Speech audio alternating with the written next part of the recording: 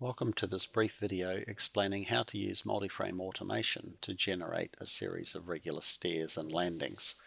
First of all we set up the spreadsheet with a number of named variables for the stair length, the length of the landing, the height of the stairs and the width of the stairs. We also choose the number of stories that we want to generate. So I'm going to start out by generating seven stories. Then I can click the generate button and in the background you can see the macro runs and automatically generates the geometry for those stairs inside multi-frame.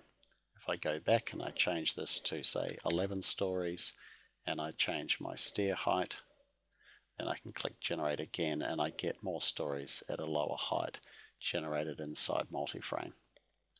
So let's take a look at how this works. If we switch over to Visual Basic inside Excel, you can see we have some variables declared at the start.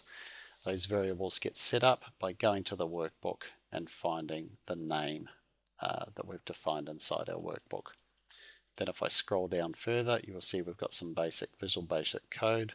So we have a loop for the number of stories, and then for each story we just define the X, Y, and Z locations of the start, the middle, and the end of that particular story. If we're on an odd story, it runs from left to right, and if we're on an even story, we just reflect it about the center, so it goes from right to left. And finally, the bit that does the work, we just call the multi-frame application, its frame object, its list of elements, and we say to add an element. And if we scroll across, we just define the XYZ coordinates of the start of the element and the XYZ coordinates of the end of the element. That's all there is to it.